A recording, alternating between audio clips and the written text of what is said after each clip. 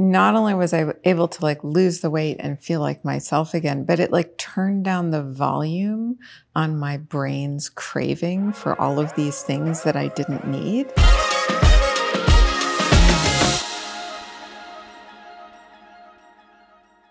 Hi, I'm Dr. Kathleen Jordan. I'm Chief Medical Officer at Midi Health, where we support women in achieving their best health in midlife. Some of this includes many conversations on nutrition and fitness. So I'm here with Lindsay, Millie, and Willow. What's been your biggest challenge in midlife? I was just always told you're just getting older. It's a mm. part of the aging yeah. process. You know, your your metabolism kind of goes to sleep for a while, and you got to make sure you keep it revved up at all times. Yeah, I went back to being a vegetarian, mm-hmm. and I think you know certainly from um, a biological perspective, like eating the carbohydrates boosts your serotonin. Mm-hmm. And so I felt like I was almost self medicating with like baked goods. and so I just got stuck in this loop and I had a really hard time getting out of that. What I was doing wasn't working. Like I could run a 5K every single day. I could eat, you know, a certain amount of the same things that I was eating, or just one little treat would just throw me off. And the weight gain was mm. like a huge challenge. Do you feel like you need something different now than you did before? Yeah, I got on a GLP 1 that's mm-hmm. been really it's been significantly helpful. Does everybody know what a GLP-1 is? I was about to ask. The new weight drugs. The new yeah. weight drugs. Mm-hmm. No, I'm also on a GLP-1, a semaglutide, and not only was I able to like lose the weight and feel like myself again, but it like turned down the volume on my brain's craving for all of these things that I didn't need. But I'm still able to like sit at the table and eat dinner with my family. I'm just not eating as much.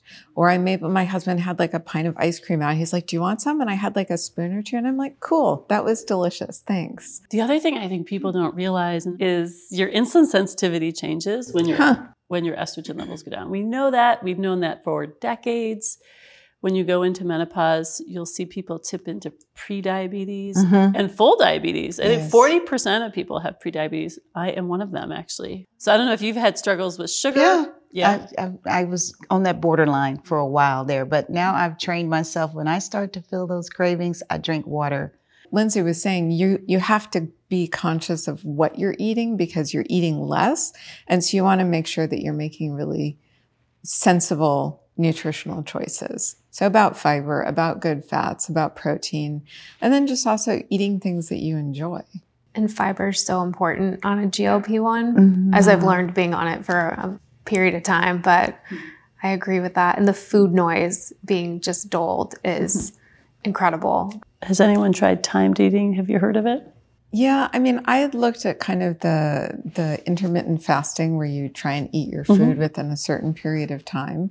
I think it is almost more natural too, like yeah. to be able to eat that way when you have a when you are on a GLP one. Because I don't necessarily wake up starving in the morning. When estrogen decreases, our insulin sensitivity gets worse. We know that. That's why we go into prediabetes and diabetes, and it's been shown that just allowing your body to not be getting calories for a while, so being hungry, actually helps your mm-hmm. insulin sensitivity. So it helps your metabolism overall. And I know you've changed your workouts actually to try and help as well. Yeah, I had been very avoidant of strength training. Like I just would be like on if I could do cardio solely, that's, that's what yeah. I would do. But I have to. I know I have to switch it up. Yeah. Do you do any weight training?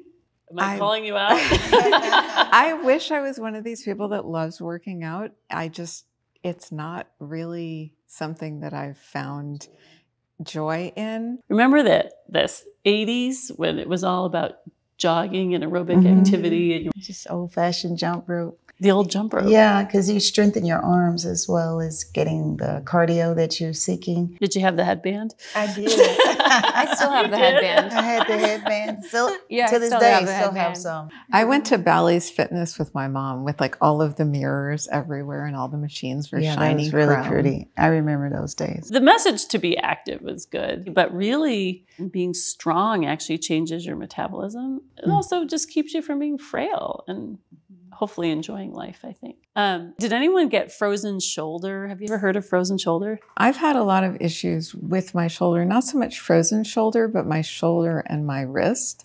And when I've My gone to the doctor, they're like, Yeah. oh, that's probably just like repetitive stress from work. Yeah. But now it makes me wonder about kind of this whole systemic inflammatory response in the body and menopause. If you take hormones, you're less likely to get it because mm. basically estrogen is kind of an anti inflammatory. So you're less likely to get frozen shoulder or plantar fasciitis, which is when your the balls of your feet hurt. Sometimes runners get that. Yep. So think about estrogen like as an anti inflammatory. So, Kathleen, how do you stay so beautiful? What do you do?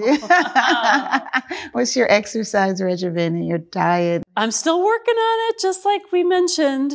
Um, but I, I've increasingly been concerned about my prediabetes, right? Yeah. So I tend to focus my supplements and my diet on managing that. Mhm. I think other people have different risk factors, right? So if cholesterol is your issue, that might be your issue. So for me, I do a lot of high fiber. I am forcing myself to do exercise every day and starting to love it. Uh, I'm eliminating high sugar snacking, and I I am obsessed with high fiber because fiber actually slows down absorption of food, so you don't get the sugar high and sugar lows. It kind of makes it more even keel. And then I do hormones, right? So I do like uh, hormone replacement therapy. I think it has helped. It actually lowered my hemoglobin A1C by a bit. So that's part of my regimen too.